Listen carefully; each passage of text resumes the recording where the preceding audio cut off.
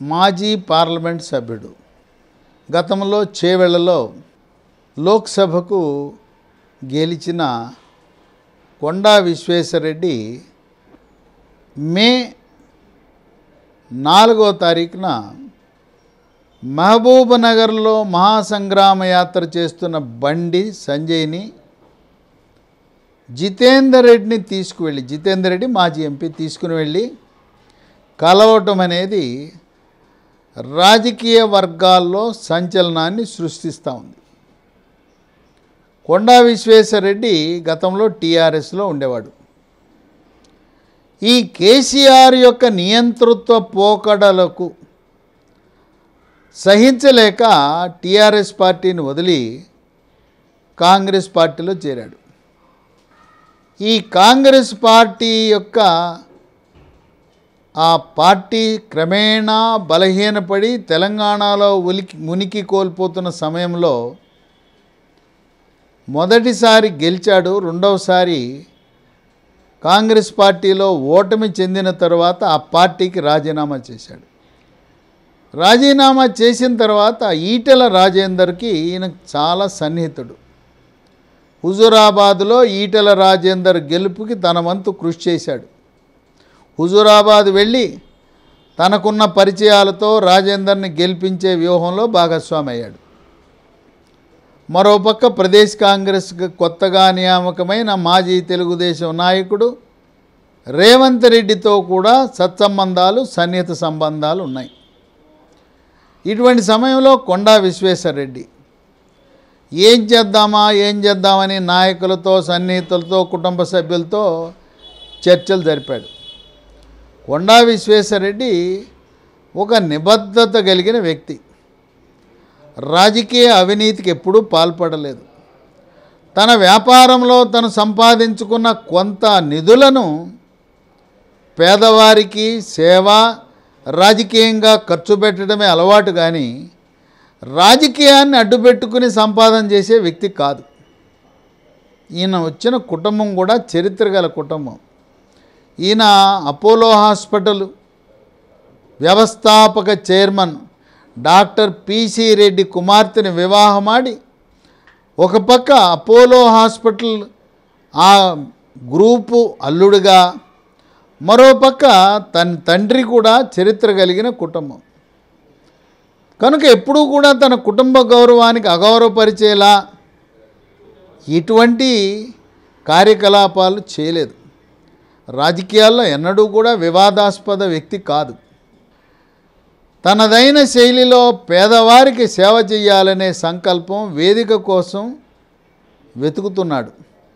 ఇప్పుడు దాదాపుగా ఇక భారతీయ జనతా పార్టీలో చేరితేనే తన లక్ష్యం నెరవేరుతుందనే నిర్ణయానికి వచ్చి బండి సంజయ్ని కలిసి భారతీయ జనతా పార్టీలో చేరదానమనే ఆలోచనకు వచ్చినట్టుగా తెలుస్తుంది.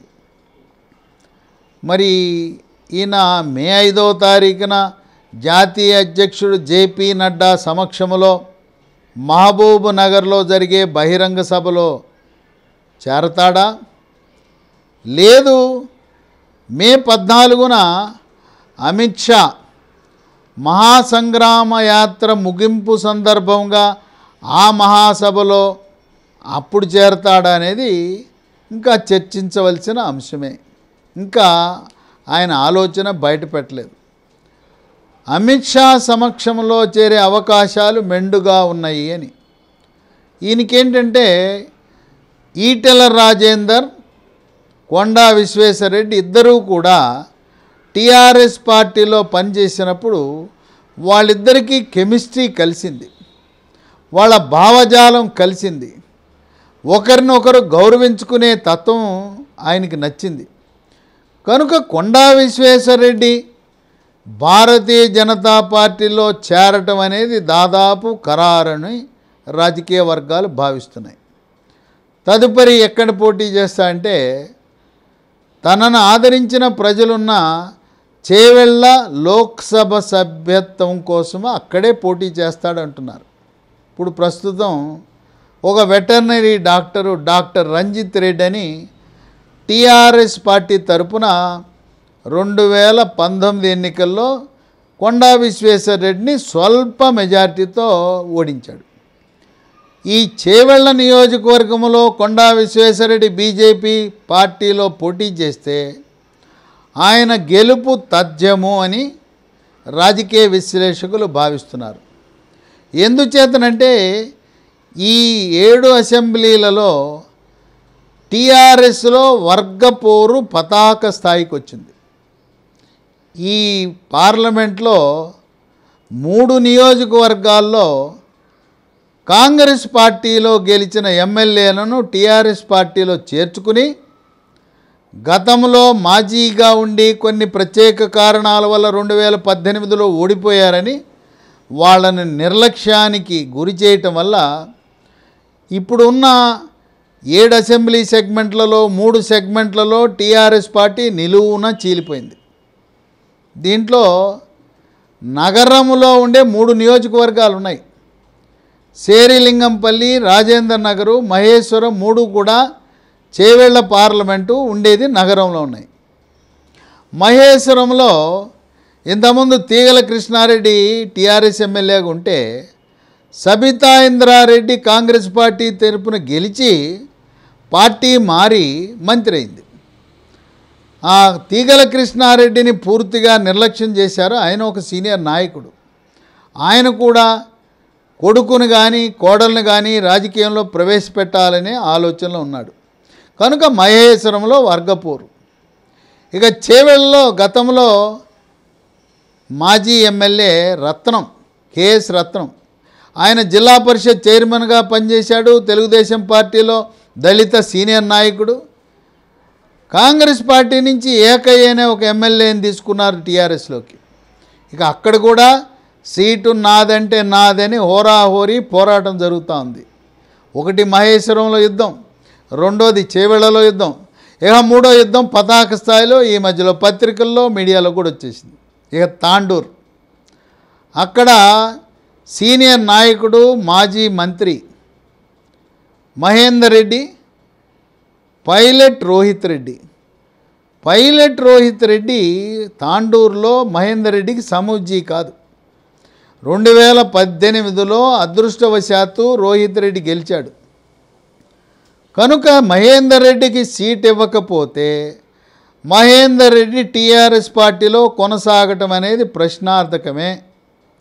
కొండా విశ్వేశ్వర రెడ్డి మహేందర్ రెడ్డితో మాట్లాడితే మహేందర్ రెడ్డి బీజేపీలో చేరి తాండూరు నుంచి శాసనసభ్యుడిగా గెలిచి భారతీయ జనతా పార్టీ ఏర్పాటు చేసే ప్రభుత్వంలో మంత్రి కావటం తథ్యమని రాజకీయ విశ్లేషకులు భావిస్తున్నారు. ఇక వికారాబాద్లో అక్కడ పిట్టకథలు చెప్పే మెతుకు ఆనందన్ ఒక ఆయన ఉన్నాడు. ఆయన పిట్టకథలు చెప్పడంలో ఎక్స్పర్టు. ప్రజాసేవ ఏమి శూన్యం.